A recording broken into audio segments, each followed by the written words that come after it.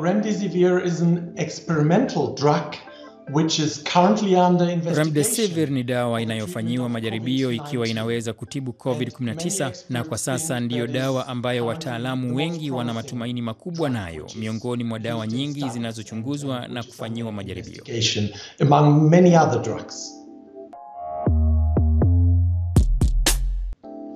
Well, it is a small molecule, relatively small molecule, which can enter the cells. Then, uh, Ni molekuli ndogo inayoweza kuingia kwenye seli. Ikiwa kwenye seli, inabadilishwa ili ifanane na chembechembe halisi zinazotengeneza virusi. to build up the viral genetic material.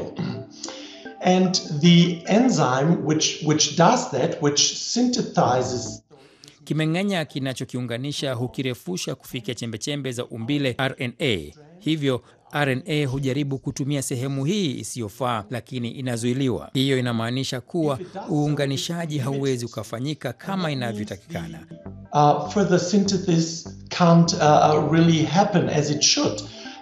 uh, Mwisho wa yote ni kwamba remdesivir inazuia kuongezeka kwa kirusi hicho kwenye seli, na hivyo tunatumai ni seli chache tu ndizo zitaathiriwa. Kutakuwa na virusi vichache mwilini na mapafu na viungo vingine havitaathiriwa sana.